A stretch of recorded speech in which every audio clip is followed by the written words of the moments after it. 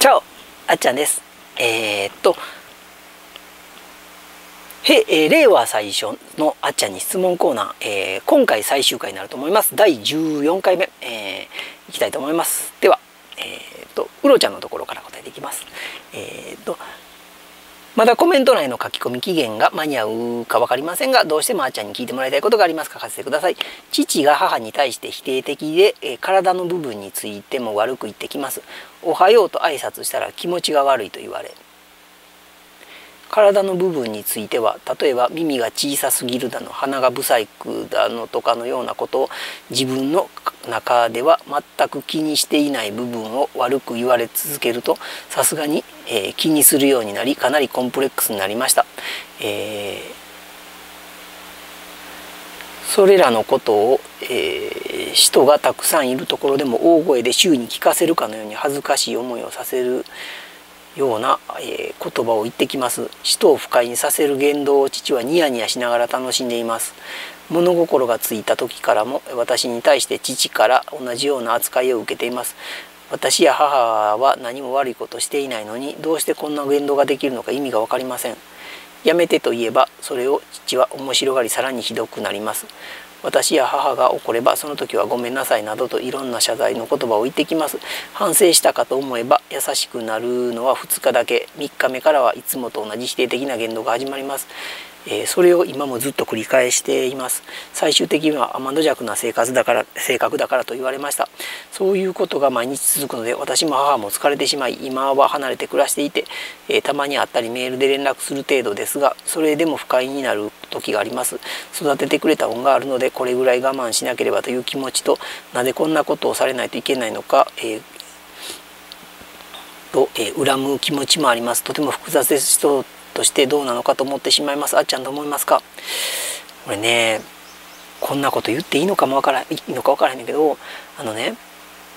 ごめんあのうろちゃんごめんやねんけどうろちゃんあのね先にこれ断らせてください。あっちゃんねお父ちゃんもお母ちゃんもおってねやっぱり嫌なこともいっぱいあります。でそのことを誰かに言った時に「そうだよね」って言われた時に悲しいし嫌な気分になるね何かっていうと自分の身内のすごく嫌なことを他人に相談して同調してくれた時に自分の身内がバカにされてんのが辛いっていうのかな。だからあっちゃんもお父ちゃんとか弟とかと揉めた時期があっていろんなこと人に相談したけどお前とこの、ね、親最低弟最低とか言われたらやっぱ悲しくなんねんね。だからこれちょっとうろちゃんごめんやねんけどでもあっちゃんちょっと厳しいこと言わせてください。うろちゃんのお父さんは人としてやっちゃいけないことをやってる。ごめんやけども最低な人間やと思う、うん、ごめんなうろちゃん。で悲しい話ね。うろちゃんをうろちゃんの血のつながったお父さんやんね。でうろちゃんを育ててくれたお父さん。だから恨む気持ちもある反面裏切られへん気持ちもあると思うねん。ちょっと涙出そうになってんねんけど。あのね人としてねウロちゃんがやっちゃダメなことをした、えー、しつけ具合が悪かった言動が悪かったっていうことでひどいこと言われたらそれは当然かも分からへんけど変えようのない身体的な特徴を悪口言って人として絶対やったらあかんことで最低なことやねんね。でこれ他人がやってもあかんのに身内がやるってすごい最低なことやと思うね。だからこれねアンチコメントでもよくあるけど人の身体的特徴のことよく言う人いてるけど人間として最低やねん。これ変な話さっきも出てたけどもあっちゃんファンの人から暴言吐かれましたってよく言うけど吐かれて当然な行為をやってんねんね。だからウロちゃんのお父さんに対してあっちゃんは人として最低ってあなたは生きる価値もないですよってもし言ったとしても正当なぐらいひどいことしてる。だって自分の愛した奥さんから生まれた子供に対して身体的特徴とかでひどいことを言う。それも人の前で笑かすようなことを言う。いや人として最低って思う。ただその裏側にウロちゃんのお父さんは会社とか、ね、社会に出ていや、えー、子供の頃から何かでいじめられてきたコンプレックスがあるんちゃうかな。お父さん見た目素晴らしいですか？かっこいいですか？えー、見た目の特徴としてディスれるところないですか？ディスったらあかんよ。心が汚れるから。でも何か欠陥ないですか？そこを多分小さい頃からいじめでいじめられてきたんちゃうかなお父さんも。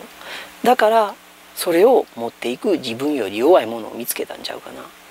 結構ね多いのが子供の頃いじめられてきた。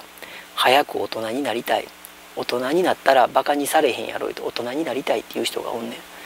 ん、うん、だからそういう生き方をしてきたんちゃうかな。って思ったらウロちゃんのお父さんもかわいそうな人なんやなって思ったりもしてしまう。そうでないと自分を保てへんのちゃうかな。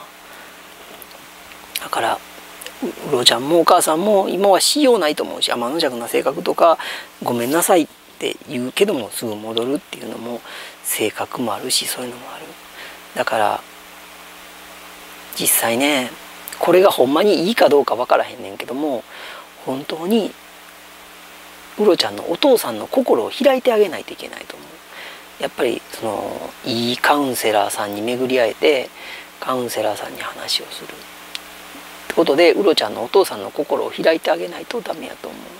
でウロちゃんが、えーと、今何歳か分からへんねんけども、えー、もしね未成年やったらね児童相談所とかに相談してもいいと思うし、えー、本当ねももし成人してたりしてもお母さんもそうやねんけども役所とかに相談してもいいと思う。ただそうなると今度また家族の関係がちょっと難しくなるからね。それが暴言だけじゃなく暴力に変わったらまた危険やから。やねんけどちょっと悲しいね。うん人としては絶対それはやったらあかんこと。で絶対にこれねあのー、まあ、関西人のノリでね関西人だけじゃないけど最近まあテレビでもよくやんねんけど「いじり」って言って人のね身体的特徴でいじるっていうね馬鹿げた下劣な芸風があんねん。だからそれで、えー、人をいじるっていうのを楽しむ人もいてあっちゃんはそれネタにして子供にいじらして遊んでる動画もたまに撮るんやけどほんまはいじりはいじめやからやっちゃダメやねん。でもいじりがいじめじゃなくいじりってテレビでやるからそれがいじりが楽しいことやと思ってるけども楽しければいじめじゃなくいじりって言うけどいじられた人間は楽しくないからねだからそれはいじめやねんね親子間いじめにあたると思うねん。すごい辛いと思う辛いと思うけどね。だから今まあ離れて暮らしてるって離れて暮らされてるだけちょっとマシかな。幸せかもわからへん。だからちょっと距離を置いてえー、生活することによってお母さんもうろちゃんもちょっと今、えー、心がねちょっとでもマシになるんやったら今の生活がいいかもわからへん。でえー、ねどうしてもやっぱり離れられへんから会うたりメールするっていうのもいいと思う。でその時不快になったらなったで帰っちゃえばいい、うん、また気分悪くなった。さようならって帰ったらいいと思う、うん、そうやってまあねあの何かな距離を置くってすごい大事やと思う。今の選択肢がいいのかもわからん。これが暴力に変わるとねそれではあの終わらへんけどもまだ暴言程度やったらねちょっともう距離を置いてあんまり聞かへんようにするっていうのがいいのかもわからへん。でも辛いねこれがね。他人やったらねどうにかもう会わへんってできるけど身内っていうのが辛いけどもね。でもそういうね辛い経験をして大人になっていったらいい素晴らしい人生を送れると思う。だからウロちゃんもそのお父さんみたいなことをしないように人の身体的特徴で悪口言ったりせんようにっていうね、あのー、反面教師になっねお父さんを反面教師にしていい人間に育ってください。も うそれしか言いようない。お母さんも辛いと思うけどね。まあね今離れて暮らしてるんやったら嫌なことを聞かずに今楽しく生きましょう、うん、それがいいと思う、うん、また何かあったら相談してね。じゃあでも OK やから。もしよかったらあのまた相談コーナーもやるし、えー、メールで相談くれたらね、まあ、答えられるかどうかわからへんねんけどね、まあ、ちょっと人にこうやって吐き出すことによってちょっと楽になれると思うねんだからまたたっちゃんのよかったら聞くから吐き出して。えー、ゆきくまさん、えー、あっちゃんが弟だった頃の写真が見たいです。えー、っとね男だった頃の写真はねちょっと待ってね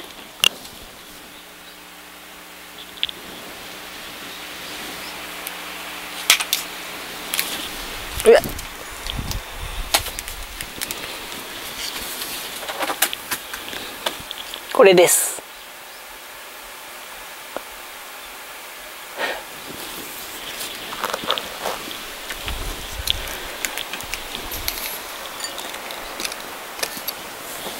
はい。えーとみっちゃんの結婚式の写真です、はい。えー、マルリンさん、えー、チャオです、えー、まだ質問受け付けてるのは大丈夫です。はい、えー、毎年健康診断はしてますか？で通院での検査ではなく健康診断血液検査レントゲン胃の検査心電図等で私は健康に自信があったので再検査になってしまってあっちゃんは健康には不安がないかなと思ってありがとうございます。えっ、ー、とね市から健康診断が来てるんだけどもねあれね昔、えー、6年ぐらい前かな6年7年まだまだ胸がちょっと膨らみかけた頃、えー、まだ AAA カップぐらい。だから太ったかなっていうレベルに膨らんだ頃やってんけど死の検査を受けたんねその頃に。その頃はメタボ検診と成人なんたら検診と、えー、レントゲン、えー、検便検尿血液検査ってな。んかそ血液検査せへんだかな。なんかしらんかそんなん受けてん。その時に行った時に検査着とか術着はなしです。で、えー、ホールみたいなところに行ってホールっていうかね保健センターって言って温泉の横にあるんだけど保健センター行って、まあ、いろんな部屋にあって先生とかがおって検診すんねんけどえー、っと次の人が並んでんねんね。おっさんがいっぱい並んでんねん。はい胸開けてペロリンってやらんなんねん。だからそれから恥ずかしいしそんな検診まあそれ死の検診ただやねんけどただちゃうわ、えー、何ぼか払った。えー、っと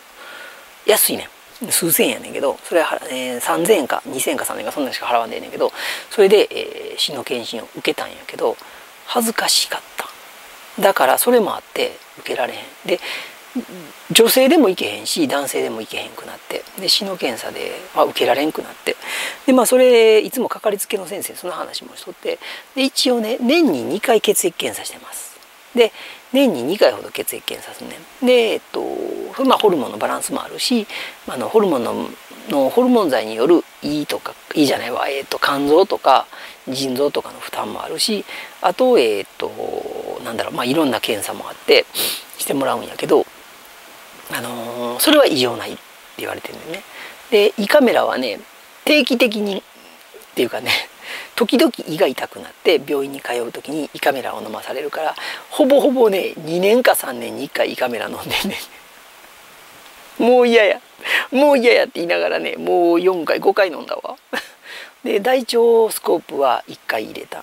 そんな検診をね何年間に1回やってんねんけど定期的な1年検診っていうのはやってないの実は。うん、でやっぱりね細かい検査えー、っとなんていうの血血圧低いなみたいなところから血液検査したりとかっていうのはたまにやるんやけどね。うんだからそんなんでやねんけどまあ近いうちまた検診受けなあかんねとは思ってる。死の検診来とったん今年も。でもどうしようか迷ってんねん。もう行ったら今もこんなんでペロンめくられへんやん。ね。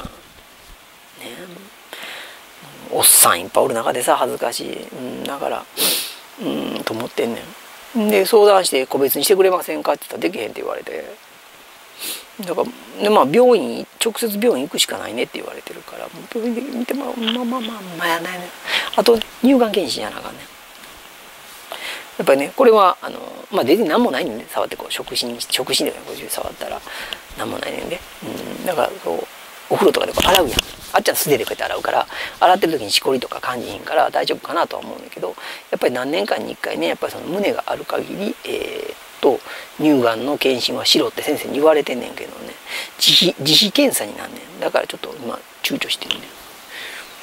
まあ、悩んでるところです。はい。ありがとうねまた行かなあかんな。丸にされてくれたしまたちょっと近いうち行こうかな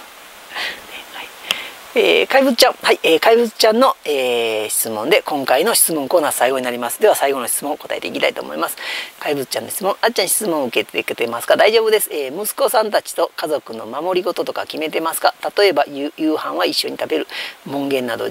えー、何時とか、えー、動画内で息子さんたちの話口調が優しいのでほっこりしています。ありがとうございます。えっ、ー、とね、決まり事ってそんなにないねん。えっ、とね、暗黙のルールって暗黙のルールで家にいてる時は一緒にご飯を食べよう、うん、それが暗黙の了解やねんね。ルールじゃないねん。だからご飯やでってうんゲームしてんねん。うんいやはよやめておいで。うん待ってんで。うん そんな感じで、うん、今手離されへんっていうかじゃあ今のフェーズ終わったらいけるって。うん。じゃあ待ってよって言ってみんなで一緒にご飯食べようって。まあそれが暗黙のルール。みたいなところかなあと門限はなし門限はある程度自分で考えてこの時間やったら、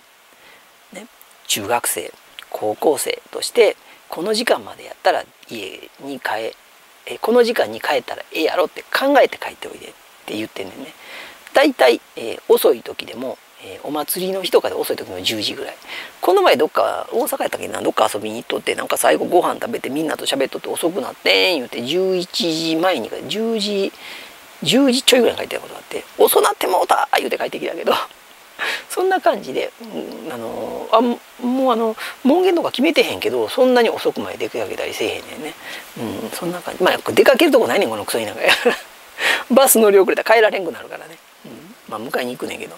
まあ、そんな感じでねえー、っとなんもないの。であとえー、っとねまあ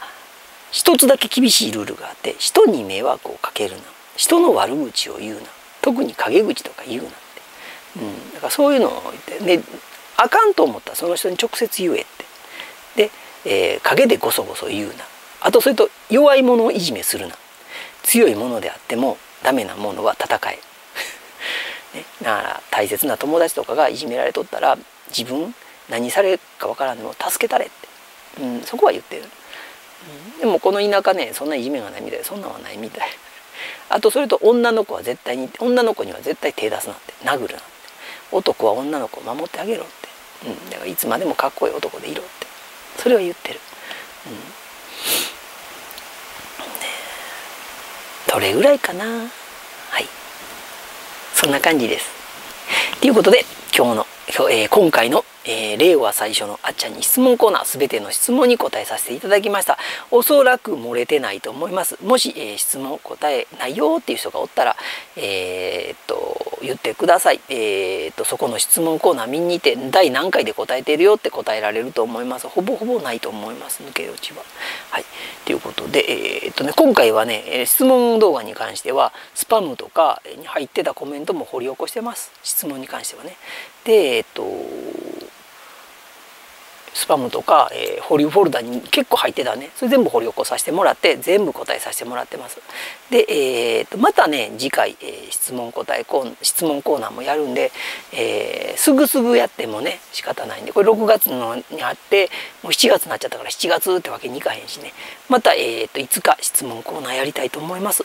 で、えーとあっちゃんに相談コーナー。っていうのもやろうと思うんでねまたよかったら、えー、相談ください。で視聴者さん参加っていう感じでこんな感じ、えー、質問コーナーしたりあっちゃん、えー、この動画に関してはコメント全部返すよっていう動画とかまたやろうかなと思ったりねいろいろそんなんも、えー、いろんな企画をやっていきたいと思います。はい、ということで今日のあっちゃんの、えー、っと質問答えコーナー、えー、令和最初の質問にお答えするよっていう動画第14弾まで来ました。第14弾で完結です。ありがとうございました。168件やったかな、えー、たくさんのコメントいただきました、えー、164件のコメントをいただきました。本当にありがとうございました、えー、またね、えー、とあっちゃんに質問コーナーやるんでね、うん、あのー、またいろいろ質問ください、え、ではまたね。バイバイ。あっちゃんのことちょっとぐらい分かってくれたかな。